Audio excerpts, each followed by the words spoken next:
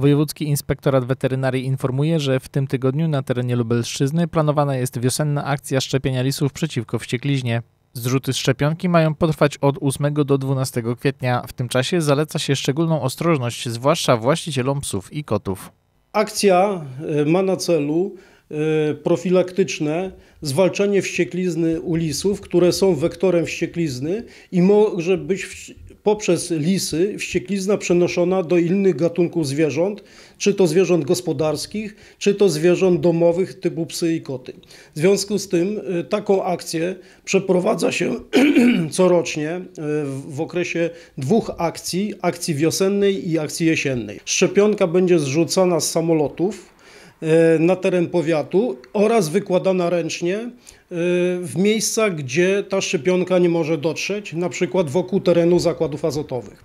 Zaleca się e, zachowanie pewnych środków ostrożności związanych z tą akcją, dlatego że szczepionka, e, która ma e, w swoim składzie element zapachowy, wabiący nie tylko lisy, ale również zwierzęta domowe, może być przypadkowo przez nie połknięta. Przypadku znalezienia takiej szczepionki przez naszych milusińskich domowych należy skontaktować się e, z lekarzem weterynarii lub z gabinetem weterynaryjnym. Natomiast e, e, tutaj należy zachować również środki ostrożności w przypadku kontaktu ludzi przypadkowego.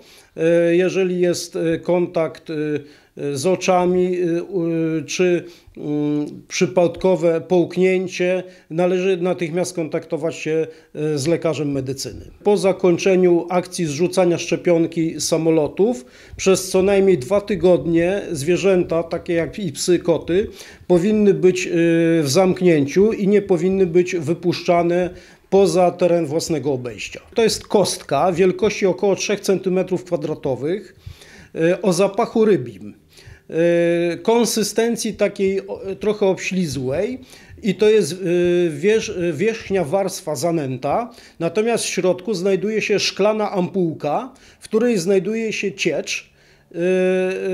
Ta ciecz to jest płyn, w którym znajduje się inaktywowany wirus wścieklizny, który nie stwarza zagrożenia, ale wywołuje naturalną e, odporność e, organizmu. Akcja ma na celu zapobieganie rozprzestrzeniania się wścieklizny, choroby niebezpiecznej zarówno dla zwierząt, jak i ludzi. Termin zrzucania szczepionek może ulec zmianie ze względu na ewentualne niekorzystne warunki atmosferyczne.